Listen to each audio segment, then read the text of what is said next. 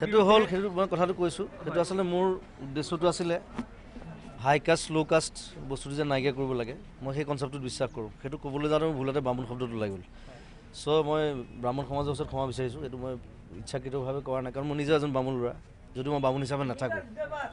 মই সাধাৰণ মানুহ হৈ থাকোঁ মই বড়োৰ লগত বড়ো হৈছোঁ কাৰ্বিৰ লগত কাৰ্বি হৈছোঁ বাগানীয়াৰ লগত বাগানী হৈছোঁ মিচিঙৰ লগত মিচিং হৈছোঁ। মই বামুণ হৈ পেলাই কেতিয়াও জীয়াই থকা নাই। আৰু ব্ৰাহ্মণসকলৰ নিজৰ দায়িত্ব তেওঁলোকে কৰিছে তেওঁলোকে কৰি থওক সেইটো মোক ক'বলগীয়া একো নাই।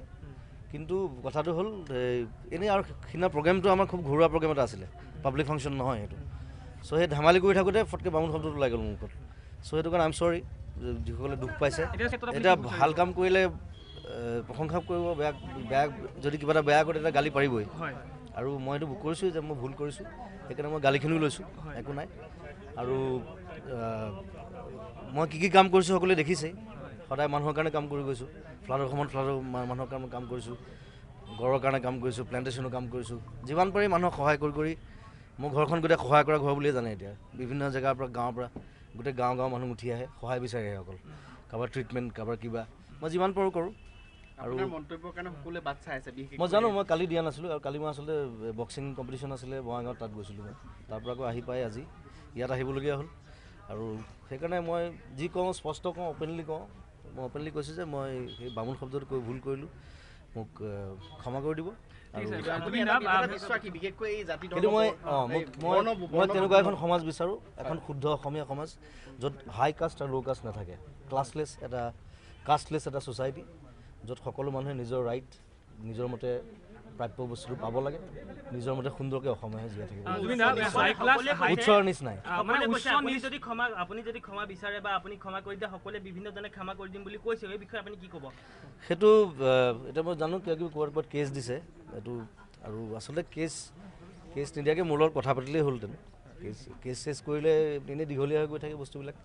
মই মই মই মোৰ দায়িত্ব কৰিছোঁ মই সেইকাৰণে থানালৈ আহিছোঁ মই মোৰ ষ্টেটমেণ্ট দিছোঁ ইয়াত। কিছুমানে আপোনাক আজি সুৰাকণ্ঠ বুলি কৈছে বহুতে বহুতে আপোনাৰ অনুৰাগে দুখ পাইছে কি ক'ব?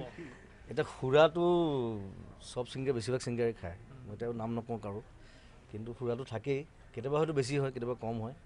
আৰু মই যিমান পাৰোঁ যোৱা দুই তিনি বছৰে যিমান পাৰোঁ কণ্ট্ৰল কৰি সেইটো কৰিবৰ কাৰণে চেষ্টা কৰিছোঁ। অসমৰ মানুহে জুবিন গাৰ্গক খুব বেছি মৰম কৰে। গতিকে জুবিন গাৰ্গে জানো মোৰ দায়িত্ব বহুত আছে গতিকে মই সেইখিনিও জানো। আৰু নতুন ল'ৰা ছোৱালীখিনি বেছিভাগেই মোৰ লগত আছে মোৰ লগত কাম কৰি আছে বিশেষকৈ। এতিয়া কালিও ধেমাজিত তেওঁলোকে ফ্লাড ৰিলিফত কাম কৰি আছে মোৰ লগত বৰপেটাত কৰিছে। অহাকালি আকৌ মাজুলীলৈ যাব গোটেই আমাৰ। গোটেই শিৱসাগৰ ডিব্ৰুগড় নাহৰকটীয়া নাজিৰা যোৰহাট যিমান ফেন ক্লাব আছে গোটেইবিলাক একেলগে খাদ্য সামগ্ৰী লৈ পেলাই তেওঁলোকে মেডিকেল ছাপ্লাই লৈ পেলাই মাজুলীলৈ পঠাইছোঁ মই। চ' সেইবিলাক কামো কৰি আছোঁ তাৰ মাজতে। চাৰিদিনমান শোৱা নাই নন ষ্টপ মাৰি আছোঁ কাম। চ' তেতিয়া অকণমান খাবলগীয়া হৈ যায় কেতিয়াবা। সেইটো উপায় নাই। সেইটো স্পষ্টভাৱে কৈছোঁ। জুবিন দা আপোনাক চবেই কয় যে আপোনাৰ জুবিন গাৰ্গে কিবা অনুষ্ঠান কৰিলে আমি আগতে বিট মাৰিছিলোঁ। কিন্তু আচলতে আপোনাক সেইদিনা অকণমান ব্লাৰ কৰিবলগীয়া হৈছিলে। এই বিষয়ে আপুনি কিবা ক'ব নেকি? আপুনি কিবা নাজানো চৰি নহয় আৰু সেইটো।